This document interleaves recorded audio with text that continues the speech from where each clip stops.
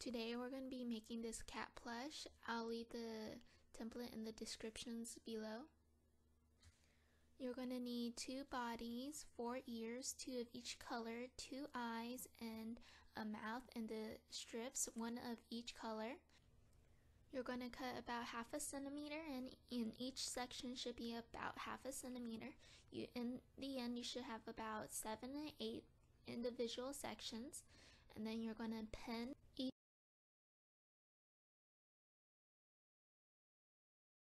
Make sure the ear is on the outside of the body. You're just going to do a basic running stitch from side to side and then double back so just in case you miss any spots if you want to. Do this to the other side too.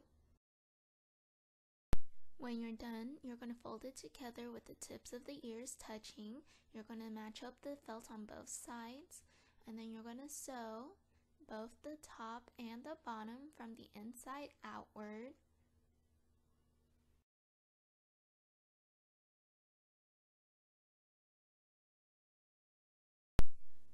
After you're done, tie a knot and cut the string. And you're done with one half of the body for the cat.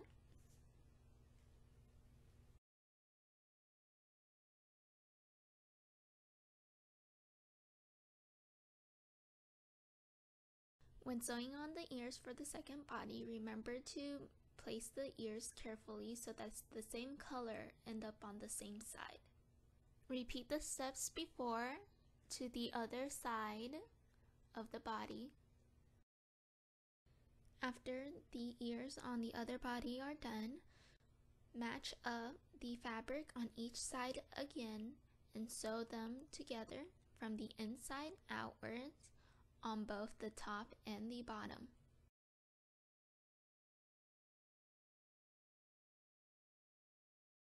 When both sides are done, take one side and flip it. After flipping it, take the one that you did not flip and place it after putting it over, match up the edges of the felt so that they're even on both sides. Start sewing the sides together, but don't forget to leave a hole at the bottom so you can stuff it and flip it later. I left a 6 centimeter hole so I can flip it. You can make it however large or small you would like it to be.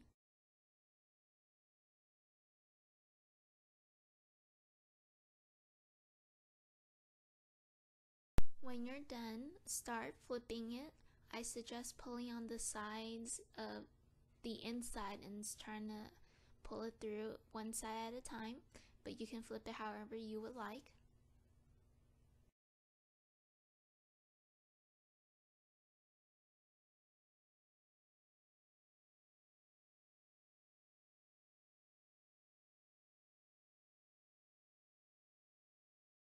After you successfully flipped it over, you can start stuffing it. You can use any stuffing. I got mine from Walmart. I recommend stuffing the ears if you want it to have stuffing because it's hard to get in there. So I recommend stuffing it first.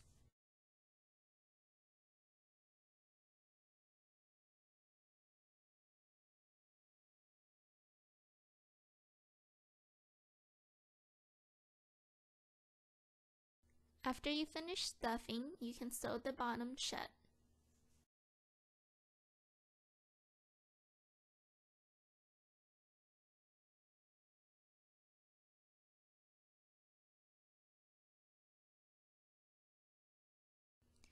After stuffing and sewing the bottoms shut, you can fix the little bumps with a needle by inserting it and pushing it upward on the inside or using your fingers. Place the face on the plush on where you would like it and then you can glue it down with hot glue or fabric glue or whatever you choose. You can even sew it down if you would like.